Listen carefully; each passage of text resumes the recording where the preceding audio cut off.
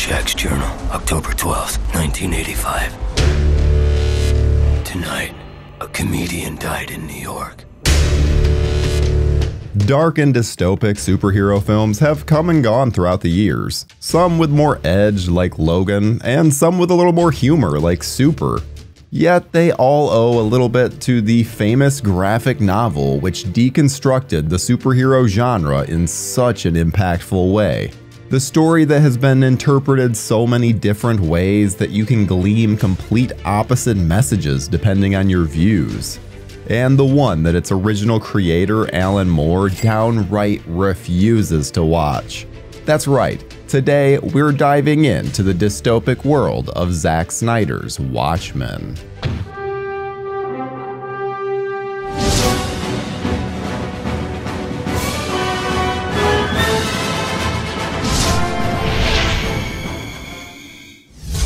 City's afraid of me. I've seen its true face. And all the whores and politicians will look up and shout, Save us. And I'll whisper, No. There are few comic book adaptations that had as much trouble getting off the ground as Alan Moore's Watchmen. The film was in development for many decades under many different studios until the cameras finally got rolling. In a lot of ways, it's a miracle that it even happened. So, for a property that was so revolutionary and beloved, why did they have such trouble? Before we can properly dive into the complicated history of getting this story up on the big screen, we first must look at the publication of the graphic novel itself. Watchmen first appeared in an issue of DC Spotlight in 1985. Subsequently, they would release a total of 12 comics between 1986 and 1987. These issues would be compiled into the graphic novel that adorned comic book store shelves for decades. Everyone remembers the yellow smiley face with a drop of blood on it, right? Absolutely iconic. And we all know about Alan Moore at this point, right? The old curmudgeon comic book creator that has had such bad experiences with his work being adapted that he's just completely removed himself from the process. Well, there's a little more to the story to get you to understand his plight. See, it wasn't just that some of his comics were adapted poorly, as that's something that can happen to any creator. No, instead, Moore was brought into litigation after Larry Cohen and Martin Poll sued Fox for allegedly stealing their script, Cast of Characters, feeling it was too similar to The League of Extraordinary Gentlemen. Cohen and Poll alleged that Moore was hired to write a comic that featured specific characters so that Fox could then buy the rights from him. Because of this, Moore was forced to defend himself in court for nearly 10 hours. He lamented the process, saying he'd have suffered less if he'd sodomized and murdered a busload of children after giving them heroin. Jeez, Alan, tell us how you really feel. This rightfully left Moore completely against any and all adaptations of his work, which is really too bad as he had created some of the most intriguing comics of the 80s, with From Hell, The Killing Joke, and of course, today's subject. Recognizing the success of the graphic novel, producers Lawrence Gordon and Joel Silver acquired the film rights in 1986 and set up the movie at 20th Century Fox. Alan Moore turned down scripting duties, duh, and instead they went to future Batman scribe Sam Hamm. Hamm actually rewrote the complicated ending from the original comic, simplifying the third act. Fox, however, didn't have much faith in the project and put it on hold in 1991. Eventually, the film moved to Warner Brothers, where Terry Gilliam boarded the project. Gilliam's Brazil partner, Charles McKeown, rewrote the screenplay, but they struggled to get the film made, having gone over budget on their last few movies. Frustrated, Gilliam left the unfilmable project, and Warner Brothers subsequently dropped the movie from its slate. Over the next decade, several writers and directors would board the project from David Hayter to Michael Bay to Paul Greengrass, and even Darren Aronofsky. Watchmen was bringing in all sorts of talent, yet even still, the film was never able to enter production, shifting studios from Warner Brothers to Universal to Paramount, until it was eventually shelved yet again. Superhero movies just hadn't made enough impact to prove that you could create a dark film that subverts them and still be successful. In the mid 2000s, Gordon and Lloyd Levin partnered with Warner Brothers to have another go at the film. Having success with movies like Dawn of the Dead and 300, Zack Snyder was approached by Warner to direct, which he graciously accepted, being a big fan of Moore's story.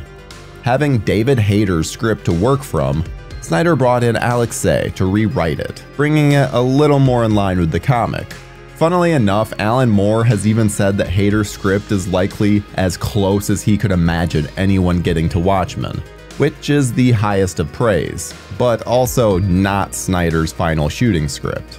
Due to all the hot potatoing of the property, and the fact that Paramount contributed so much to the film's development, the studio received international distribution rights as well as a 25% ownership of the final film. So they didn't lose out entirely.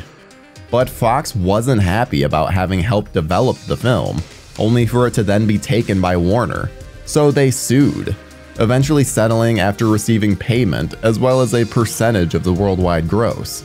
They would also have a stake in any sequels or spin offs. Filming on Watchmen took place in Vancouver, Canada, from a script credited to both Hayter and Tse. Doubling for New York City, the film is mostly made up of sound stages and green screen, yet still manages to be somewhat grounded. With a budget of nearly $120 million and its eyes set on an R rating, Snyder and his team had quite the uphill battle. None of you seem to understand. I'm not locked in here with you. You're locked in here with me! Watchmen has always had an interesting story. In an alternate America where costume heroes have helped turn the tide in key moments, someone is starting to murder formerly costumed heroes. Eventually, it's revealed that one of the former superheroes has decided the only way for the world to find peace is to give them a common enemy Dr. Manhattan. Sure, that's a very simplified way of breaking it down, but I'll be honest, if I go through every plot point, it's going to get convoluted real fast. Let's just say there's a lot of slow motion and death. The world presented here looks familiar, yet has some subtle differences. Due to Dr. Manhattan's intervention, the US won the Vietnam War and made Vietnam the 51st state. You can even see all the flags with their 51 stars. Because of this success, Nixon won a third term in office. Yikes. But the worry of nuclear war was just as present as in our world.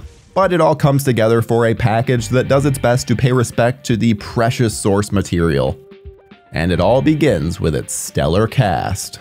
My new world demands less obvious heroism. Your schoolboy heroics are redundant. Throughout the many different iterations of the project, Natalie Portman, Rachel Weisz, and Hilary Swank were all considered for the role of Laurie Jupiter, aka Silk Spectre 2. But it was Malin Akerman who ended up landing the role, then, for the role of her mother, the original Silk Spectre, Carla Gugino was cast. Although actresses like Jamie Lee Curtis, Liv Tyler, and even Sigourney Weaver were considered at different points of the film's development. You can really tell by that list of names just how long this bad boy was spinning its wheels. Hot off the success of Hard Candy, Patrick Wilson took on the role of Nite Owl, who was essentially a version of Batman. Kevin Costner, Richard Gere, and Christopher Walken were all considered. Wilson even put on 25 pounds to portray Nite Owl's alter ego, Daniel Dreiberg, who has let himself go a bit. Snyder found the role of the comedian quite hard to cast, as he wanted a man's man for the gig. Thankfully, Jeffrey Dean Morgan grumpily auditioned and brought the exact aura that Snyder was looking for. He makes the comedian very gruff, but also vulnerable. Not an easy task given some of his actions in the film. For the all powerful Ozymandias, Snyder really wanted Jude Law for the role, feeling he really embodied him. And the actor was also a big fan of the comic. Snyder even met with Tom Cruise about the part. Eventually, though, he went with Matthew Goode, whom he described as a beautiful, ageless German Superman.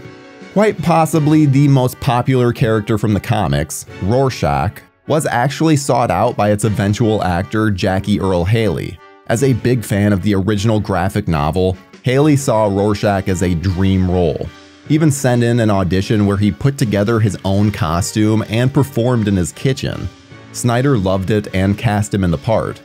Given that his character's mask is ever changing in the comics depending on his emotions, the filmmakers opted for CGI. This allowed for a lot more flexibility when shooting and could more properly represent the Rorschach tests on which the design is based. We even see Rorschach several times throughout the film unmasked and holding an end is nigh sign. Finally, for the major part of Dr. Manhattan, many different actors were looked at, with Keanu Reeves even being offered the part. But it ultimately came down to Billy Crudup. Although the Greek statue-like body was that of Greg Plitt, as the version of Manhattan that we see in the film is entirely CGI. Crudup actually wore this blue-white LED suit to help simulate the light in whatever environment he was in. While the CGI isn't flawless, it's still pretty impressive for 2009. Cinematographer Larry Fong went for a visual approach he termed stylized realism, where they took the bright colors of the comics but combined them with the grit and dirt of the real world. Snyder decided to use the comic itself as the storyboarding for various shots, wanting to honor the original graphic novel as much as possible. The recreated shots really helped the film feel like a love letter. The music of Watchmen came from Tyler Bates, although there were several major songs featured, like Desolation Row, The Times They Are a Changin', and All Along the Watchtower, all by Bob Dylan. We also received Simon and Garfunkel's The Sound of Silence and Leonard Cohen's Hallelujah. These songs really took over their respective scenes and could almost be viewed as separate music videos. If you'd cared from the start, none of this would have happened. Watchmen was released on March 6, 2009 in the United States and brought in over $55 million on its opening weekend. The film would end its worldwide run at 185 million. While the graphic novel was unanimously praised, the movie was quite divisive, earning a 65% fresh rating on Rotten Tomatoes. The critical consensus called the film gritty and visually striking. Watchmen is a faithful adaptation of Alan Moore's graphic novel, but its complex narrative structure may make it difficult for it to appeal to viewers not already familiar with the source material. Original creator Alan Moore has maintained his stance of refusing all royalties and instead giving that money to his creative partners he had on the project. And despite never having seen the movie, Moore has been outspoken about his desire for it to not exist at all. Meanwhile, Moore's collaborator, Dave Gibbons, worked as an advisor for the film and was even credited. A director's cut of the movie was released that featured an additional 24 minutes of footage. Then there was an ultimate cut that added the animated comic Tales of the Black Freighter into the story and increased the total runtime to 3 hours and 35 minutes. Given the different studios involved, the film would have had to turn a massive profit to even toy with the idea of making a sequel, which they did not. When it came to future roles in the world of superheroes, Patrick Wilson starred as the main antagonist, King Orm, in Aquaman, and Jeffrey Dean Morgan popped up as Thomas Wayne in Batman vs. Superman. While not Marvel or DC, Jackie Earle Haley did appear as the Terror in the short-lived Tick revival from Amazon. Billy Crudup originally had the role of Henry Allen in the Snyderverse, but that has since been taken over by Ron Livingston after scheduling issues. And Carla Gugino was the voice of the ship in Batman vs. Superman.